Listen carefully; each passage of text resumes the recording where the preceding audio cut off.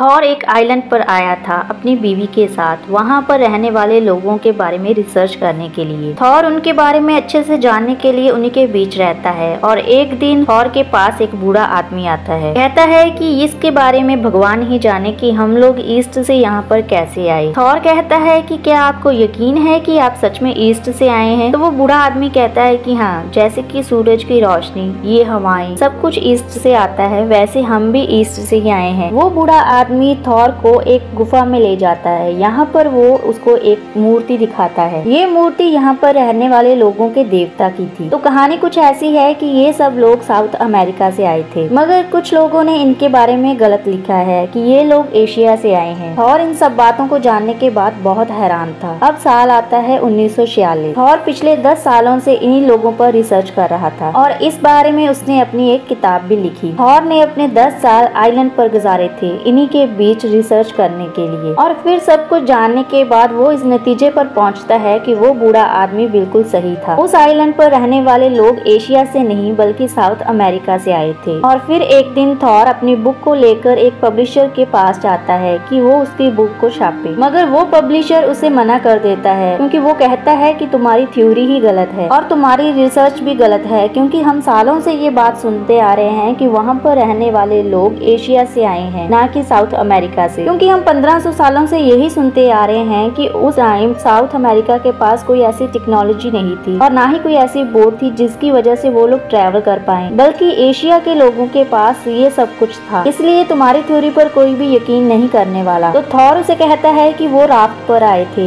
एक लकड़ी की बनी हुई कश्ती पर, जो उन्होंने खुद बनाई थी। इस बात पर पब्लिशर हंसने लगता है। तो पब्लिशर कहता है कि अच्छा अगर ये बात है तो तुम भी जाओ राफ्ट पर। तुम अमेरिका से अपना सफ़र शुरू करो और पॉलिनेशिया के आइलैंड तक पहुंचो। और अगर तुम इस सफ़र में कामयाब हो गए तो मैं तुम्हारी ये किताब पब्लिश कर दूँगा। वो पब्लिशर इसलिए ये कह रहा था क्योंकि इतने बड़े समंदर को कोई राफ्ट पर नहीं तय कर सकता था। और अब थॉर को अपनी ये बात साबित करने के लिए साउथ अमेरिका से अपना सफ़र शुरू करना होगा। वो भी एक राफ्ट पर, जिसका सफ़र आठ हज़ार किलोमीटर से भी ज़्यादा था। वो भी ऐसे समंदर पर, यहाँ पर बहुत बड़े बड़े शिप डूब जाते हैं। इस सब के लिए थॉर को पैसों की ज़रूरत भी पड़ने वाली थी। इसके लिए वो एक मैगजीन वालों के पास जाता है और उन्हें बताता है कि वो आठ हज़ार लंबा सफ़र तय करने वाला है और वो भी एक लकड़ी की राह पर जो 1500 साल पहले चलती थी और जिसमें कोई भी सहूलत नहीं होगी। मैगजीन वाले थौर को कहते हैं कि अच्छा तुम मरना चाहते हो तो हम ऐसे लोगों को पैसे नहीं देते जो जानबूझकर मरना चाहते हो। अब वो क्लब में जाता है और कुछ ऐसे लोगों से मिलता है जिन्होंने अपना बहुत सारा वक्त समुन्द्र में बिताया था। वो उनको एक राफ्ट का नक्शा दिखाता है। उनसे पूछता है कि, क्या तुम मेरा इसमें साथ दोगे? तो उनमें से एक आदमी थौर को कहता है कि क्या तुम्हें पता भी है कि ये कितना मुश्किल होने वाला है? क्योंकि जिस राफ्ट का तुम मुझे नक्शा दिखा रहे हो, इसे हम रस्सियों से बनाएँगे। और जिस रस्सियों से हम इसे बनाएँगे, वो कुछ ही दिनों में खुल जाएँगी और हम लोग वहीं पर डूब जाएँगे। और तुम्हारा इस तरह से राफ्ट पर ये सफ़र करना बहुत ही बेकार है। और उन सबकी ये बातें सुनकर वहाँ से चला जाता है। मगर इधर ही एक आदमी बैठा था जो कि उनकी सारी बातें सुन रहा था। जब थौर वहाँ से निकलता है तो वो आदमी उसके पीछे ही जाता है और थौर से कहता है कि मुझे तुम्हारा ये राफ्ट वाला आइडिया बहुत अच्छा लगा। और उससे उसकी पहचान के बारे में पूछता है। तो वो आदमी कहता है कि मैं एक इंजीनियर हूँ और मैं इस काम में तुम्हारा साथ देना चाहता हूँ। इस तरह से थॉर को अपना पहला साथी मिल जाता है। लेकिन उसे अभी भी पैसों की ज़रूरत थी इस काम के लिए। फिर वो अपनी बीवी को कॉल करता है और उसे कहता है कि इस क्रिसमस पर वो घर नहीं आ सकता, क्योंकि मैं एक सफ़र पर जा रहा हूँ। लेकिन इस बात पर उसकी बीवी मना करती है। कहती है कि ये करना खतरे से खाली नहीं है। मगर वो अपनी बीवी को मनाते हुए कहता है कि अगर मैंने ऐसा नहीं किया तो मैं खत्म हो जाऊँगा। क्योंकि मैंने अपनी ज़िंदगी के दस साल इस रिसर्च पर बिताए हैं। ये कहने के बाद वो फ़ोन रख देता है। इसके बाद थॉर एक जगह पर जाता है, जहाँ पर बहुत सारी रस्सियाँ और लकड़ियाँ थी और इसके वहाँ पर तीन साथी और भी थे। अब इसके बाद ये पूरे पाँच लोग इस सफ़र पर जाने के लिए। थॉर एक नक्शा दिखाते हुए कहता है कि हम इस नक्शे के अनुसार ही इस राफ्ट को बनाएँगे, क्योंकि हम इसमें किसी भी तरह की कोई भी तब्दीली नहीं कर सकते। नहीं तो हमारी ये बात गलत साबित हो जाएगी कि वो लोग राफ्ट पर ही आए थे। फिर वो एक आदमी के पास जाता है, जो कि बहुत ही अमीर था। वो थॉर को पैसे देने के लिए भी तैयार हो जाता है और इनकी ये खबर अखबार में भी छप जाती है, जिसे देखकर एक कैमरा मैन भी इनकी टीम में शामिल हो जाता है, ताकि ये पूरे सफ़र को रिकॉर्ड कर सके। फिर इन लोगों ने राफ्ट को बना लिया था। इनको बहुत सारे लोग समंदर के किनारे अलविदा करने आते हैं। सबको ऐसा ही लग रहा था कि कोई भी इन्हें दोबारा नहीं देख पाएगा, क्योंकि ये कभी वापस नहीं आ पाएँगे। तो ऐसे ही ये लोग अपना सफ़र शुरू करते हैं। एक छोटी सी कश्ती पर। ऐसे ही एक दिन जब ये लोग रात को सो रहे थे तो समंदर में बहुत बड़ा तूफ़ान आता है। और जब राफ्ट के पर्दे को हटा रहा था तो वो ऐसा करते हुए पानी में गिर जाता है। और को तैरना नहीं आता, मगर फिर भी उसके साथी उसे बचा लेते हैं। जब सुबह होती है तो ये बाहर निकल कर देखते हैं कि तूफ़ान की वजह से इनकी राफ्ट को काफ़ी नुकसान हुआ था। ये सब मिलकर उसे ठीक करने में लग जाते हैं, मगर ये सफ़र इतना भी आसान नहीं था जितना इन लोगों को लग रहा था। और फिर समंदर में इन्हें एक बहुत बड़ी शार्क दिखाई देती है। ये उसे रिकॉर्ड करने लगते हैं। तभी थॉर का साथी, जो कि इंजीनियर था, वो देखता है कि शार्क राफ्ट के नीचे से गुजर रही है। वो बहुत ज़्यादा डर जाता है। वो उधर ही एक हथियार उठाकर शार्क पर हमला करने के बारे में सोचता है। उसके साथी उसे रोकने की कोशिश करते हैं, मगर वो नहीं मानता और वो हथियार शार्क की तरफ़ फेंक देता है। जो हथियार उसने शार्क की तरफ़ फेंका था, उस पर रस्सी बंधी हुई थी, जो कि शार्क को लग जाता है, जिसकी वजह से शार्क समंदर में घूमने लगी थी और रस्सी बंधने होने के कारण उनकी राफ्ट भी उसी के साथ घूम रही थी। मगर खुशकिस्मती से ये बच जाते हैं और इनके साथी की भी इससे लड़ाई हो जाती है। दूसरा साथी इंजीनियर से कहता है कि तुमने ऐसा क्यों किया? तुम्हारे ऐसा करने से हम मौत के मुँह में भी जा सकते थे, लेकिन थॉर उन्हें लड़ने से रोकता है। इसी तरह से दिन गुजर जाते हैं और इनका रेडियो भी काम करना बंद कर देता है। इंजीनियर साथी के दिमाग में अब यही बात चल रही थी कि जल्द ही ये राफ्ट डूब जाएगी और हम सब मारे जाएँगे। इसके बाद जो कैमरामैन था वो एक छोटी कश्ती में बैठकर राफ्ट से थोड़ा